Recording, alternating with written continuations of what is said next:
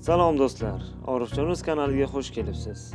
Bugungi videorolikimizni ilk rollaridan tanish, mushkul bo'lgan mashhur aktyor va aktrisalar haqida bag'ishladik. Meni qo'llab-quvvatlab, like va podpiska tugmalarini bosishni unutmang. Men esa videorolikimizni boshlayman. Mashhur va muxlislar uchun sevimli bo'lgan yulduzlar karyerasini boshlagani va debyut rol ijro qilganida yosh va hozirgidan-da ancha boshqacha ko'rinishga ega bo'lishgan.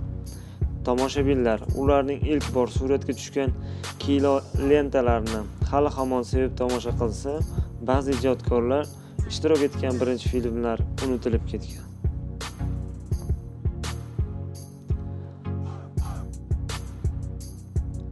Vaynona rayder 1986 yilda suratga olingan lukas filmidagi roli.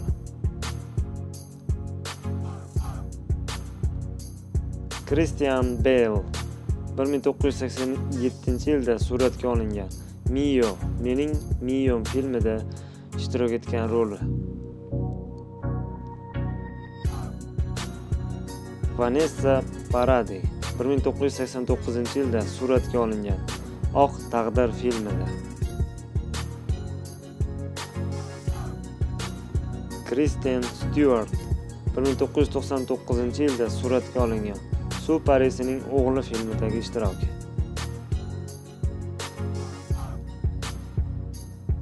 Geri oltman 1982 yilda suratga olingan. Xotiralar filmidagi roli. El fanning 2003 yilda suratga olingan navbatchi ota filmidagi ishtiroki. Jeyn fonda 1960 yilda suratga olingan katta hikoya filmidagi ishtiroki. Leonardo DiCaprio 1991 yilda suratga olingan the critters 3 filmidagi roli.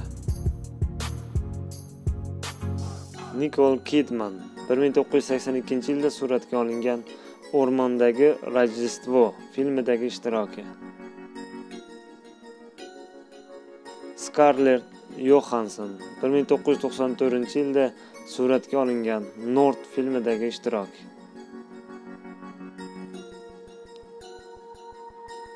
Aleksandr skarsgard 1984 yilda suratga olingan ok va uning dunyosi filmida.